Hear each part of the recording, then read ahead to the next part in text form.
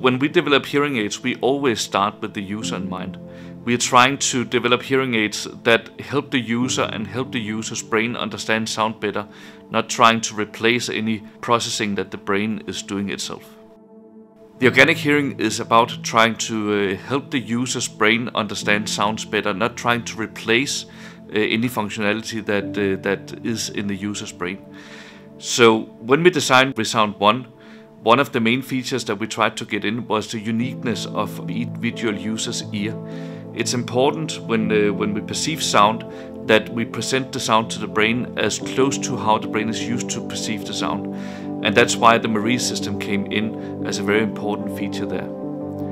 We used almost 10 years to uh, develop the uh, M&RIE feature because there's so much technology that is going into that feature. These 10 years we have spent perfecting all the technologies that surround this and almost all of R&D functions has been involved in this feature one way or another. So around 300 people have maybe been touching this feature along the way. It was an extremely difficult project to do. You would think that putting a microphone in the canal would be a very, very simple exercise. But the reality is that when you do that, you get things like feedback problems that we would have to battle.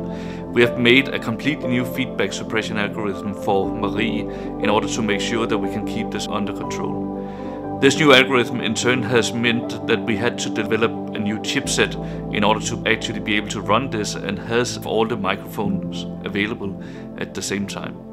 So when you put this microphone in, you get a lot of side effects and that's what actually made uh, this development difficult. The introduction of the new features in ReSound One has meant that we would have to have much more processing power and memory available in the system. So when we put more memory into our hearing aids, we uh, actually make room for more programs, more features. That's like when you get a bigger hard drive in your PC. And that more memory we needed in order to do the advanced algorithms that drive the three microphones in, in the hearing aid. We had to put a completely new for the hearing aid industry technology into place. We have made a new DSP in 28 nanometer uh, technology. And that doesn't say much until you think about if you try to, to, to take this chip and scale it up so that all the transistors that we put in there would be visible to the naked eye. This chip would be 20 by 30 meters long.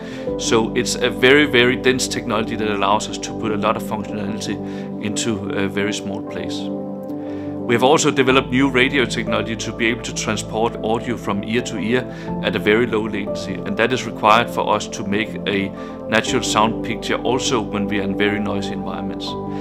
This technology we have uh, actually test run with our sister company Jabra in their newest headsets so that we are using the same radio technology across both companies.